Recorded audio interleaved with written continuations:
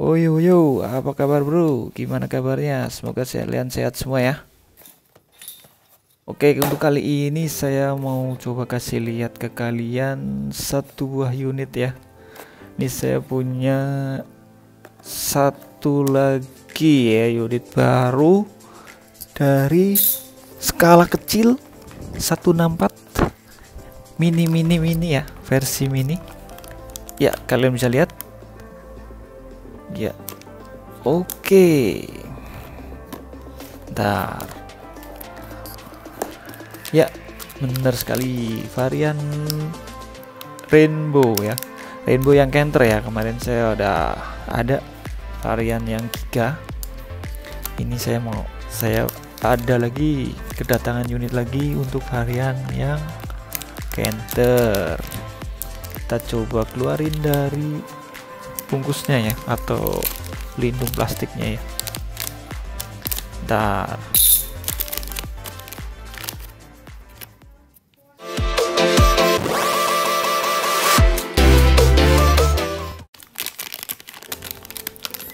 ya kita ambil. Beuh, mantap. Hmm, kayak gini bro penampilannya ya. Tuh si kanteng ya Oke, kalian bisa lihat tuh mukanya, matanya sipit ala-ala ciri khas dari Mitsubishi ya. Replika co.co ya. Armada sayur official Trans Cabe mantap. Ini belakangnya biasa.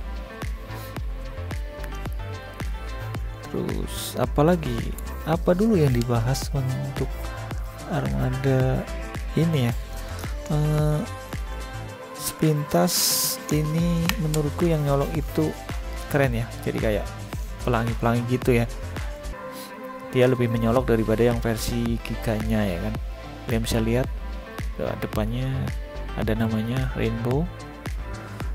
Terus yang unik dari Truk ini dia itu masih mempertahankan warna aslinya dari Mitsubishi eh, Mitsubishi Canter ya yang warna kuning ada di pintu kirinya terus dibalut dengan abu-abu tua ya kan? Separuh sama mukanya ya.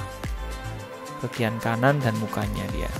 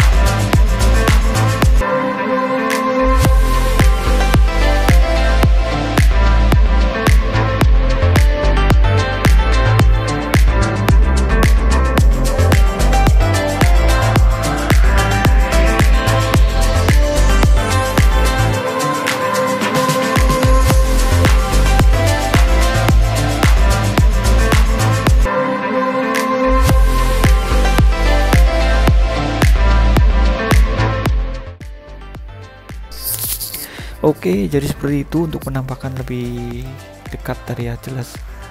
Untuk oh ya untuk spesifikasinya sendiri dia produk ini nih. Untuk bahannya dia dari PVC foam ya. PVC foam 1 mm dan 2 mm. Terus untuk liverynya dia dari stiker vinil. Terus rodanya plastik dan non interior ya. Dia masih spek standar aja. Seperti yang sudah-sudah kemarin ya. Oke mungkin cukup ya untuk info dari produk ini. Oke mungkin sampai jumpa di video selanjutnya. Bye bye